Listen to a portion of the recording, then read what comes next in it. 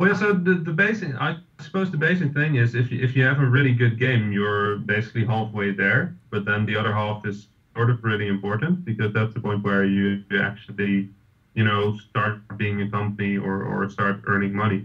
Um, and that, that used to be sort of a bad thing. Like people didn't really like creativity and money together because they thought that sort of muddled each other.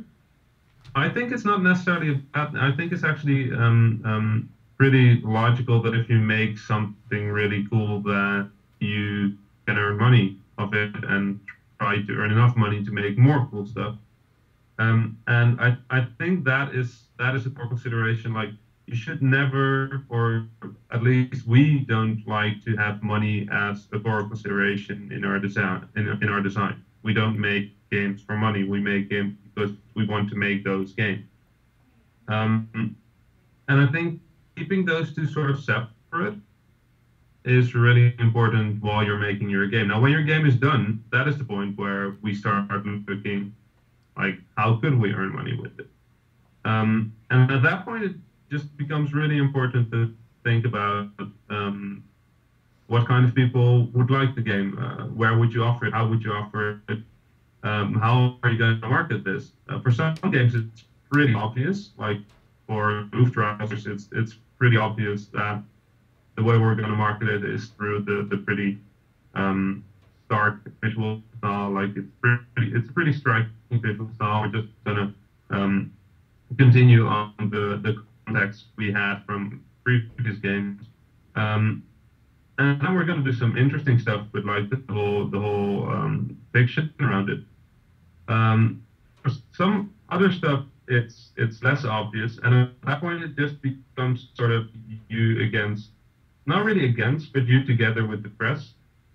Um, one of the things I usually say is, is that um, the press is sort of trying to do the, the games press is sort of trying to do the same things that we try to do, right? They try to bring good video games to the people.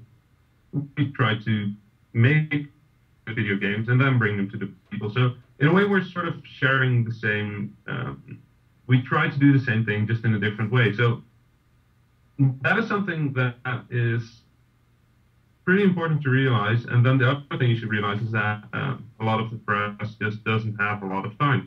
It's it's they get hundreds of emails about interesting video games.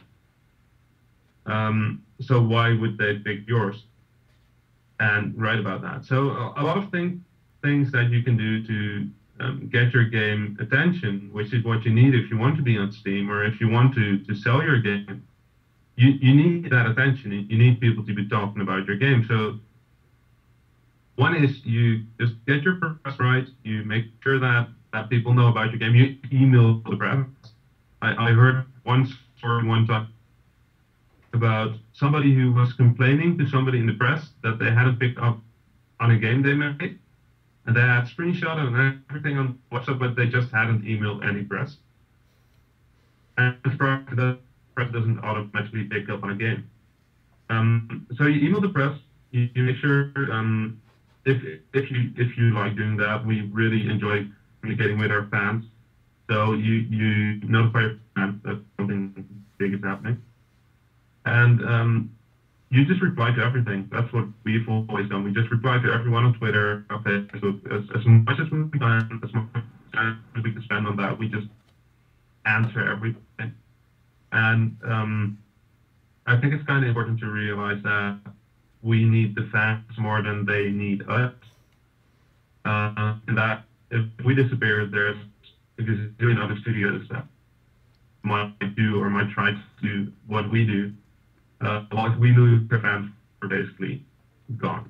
So it's it's really important to realize that the way that works is the fans help you and not necessarily the other way around.